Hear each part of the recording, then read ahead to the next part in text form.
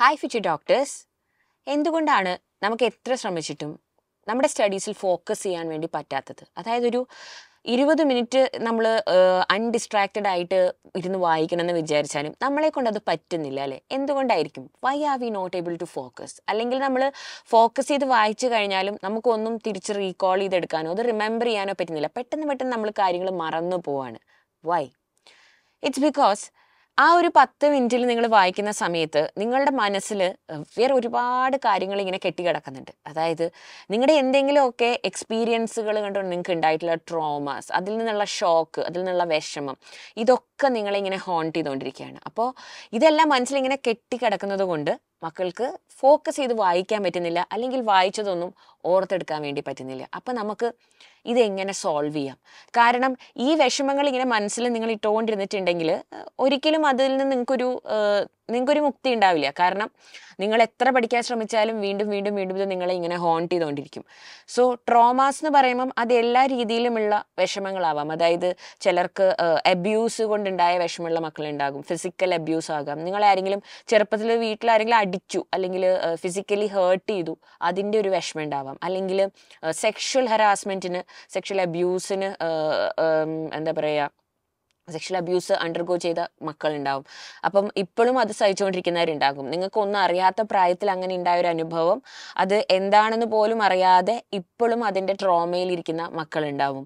പിന്നെ അല്ലെങ്കിൽ verbal abuse അതായത് ആരെങ്കിലും എന്തെങ്കിലും കാര്യങ്ങൾ നിങ്ങളോട് പറഞ്ഞു അത് കണ്ടിന്യൂസ് ആയിട്ട് അവരിങ്ങനെ നെഗറ്റീവായിട്ട് നിങ്ങളോട് പറഞ്ഞുകൊണ്ടിരിക്കുകയാണ്. നിങ്ങളെ കൊണ്ട് പറ്റില്ല. അല്ലെങ്കിൽ നീ ഇങ്ങനെയാണ്. നീ കറുത്തിട്ടാണ്. നിന്നെ കാണാൻ കൊള്ളില്ല. നിനക്ക് ഹൈറ്റ് ഇല്ല.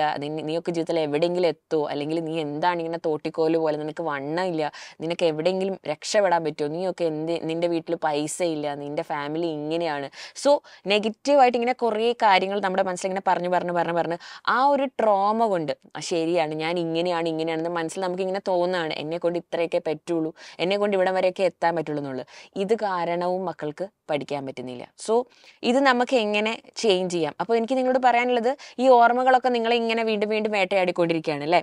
സോ ഇതൊന്നും മാറില്ല. It will never change until you make a decision to change it അതായത് നിങ്ങൾ തീരുമാനിക്കണം. ഇതിൽ നിന്നും എനിക്കൊന്ന് ഫ്രീ ആവണം. എനിക്ക് ഇതിൽ നിന്ന് ഈ ചിന്തകളും ഈ അനുഭവങ്ങളും എന്റെ മനസ്സിൽ നിന്ന് മാറ്റിയാൽ മാത്രമേ എനിക്ക് ഇനി എന്റെ ഭാവിയിൽ ഫോക്കസ് ചെയ്യാൻ വേണ്ടി പറ്റുള്ളൂ. അതിനുവേണ്ടി ആദ്യം മക്കൾ ചെയ്യേണ്ടത് ഒന്നാമത്തെ കാര്യം സ്പീക്കപ്പ് അതായത് ആരെങ്കിലും നിങ്ങളെ വെർബലി കണ്ടിന്യൂസ് ആയിട്ട് അബ്യൂസ് ചെയ്തുകൊണ്ടിരിക്കുന്നുണ്ടെങ്കിൽ ലേൺ ടു സേ നോ അത് ആരുമായിക്കോട്ടെ?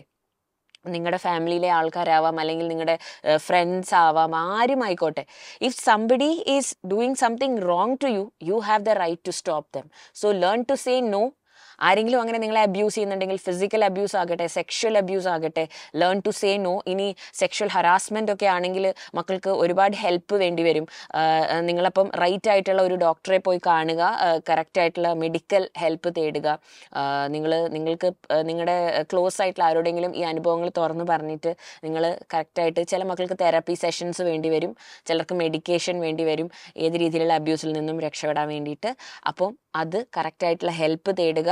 ആൻഡ് ഓൾസോ പിന്നെയുള്ള ഒരു കാര്യമാണ് ഒന്നാമത്തെ കാര്യം speak up and learn to say no കാരണം അവരാണ് തെറ്റ് ചെയ്യുന്നത്. നിങ്ങളെ ആര് ദ്രോഹിക്കുന്നുണ്ടോ അവരാണ് തെറ്റ് ചെയ്യുന്നത്. അത് നിങ്ങൾ ഓർക്കുക. വേറെ ഒരാളുടെ മിസ്റ്റേക്സിന്റെ പ്രതിഫലം നിങ്ങൾ അനുഭവിക്കേണ്ട ആവശ്യമില്ല.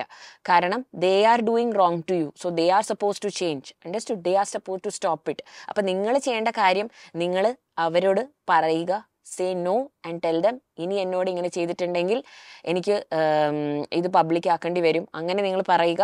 പബ്ലിക് ആക്കുക. അങ്ങനെ പറയണ്ട. ബിക്കോസ് കറക്റ്റ് ആയിട്ടുള്ള ആൾക്കാരുടെ അടുത്ത് തുറന്ന് തുറന്ന് പറയുക. And also stop letting others bad habits stop letting others others negativities get into your head പിന്നെ വേറൊരു കാര്യമാണ് ഈ ബ്രേക്കപ്പ് കാരണം റിലേഷൻഷിപ്പ് ഉണ്ടായിരുന്നു ബ്രേക്കപ്പായി അപ്പം ഭയങ്കര വേർത്ത്ലെസ് ആയിട്ട് ഫീൽ ചെയ്യാണ് മക്കൾക്ക്. ഇനി അങ്ങോട്ട് എന്താണ്? ഞാൻ ഇത്രയും കാലം വിശ്വസിച്ചില്ലേ? എന്റെ പേരൻസും അയാളെ വിശ്വസിച്ചു.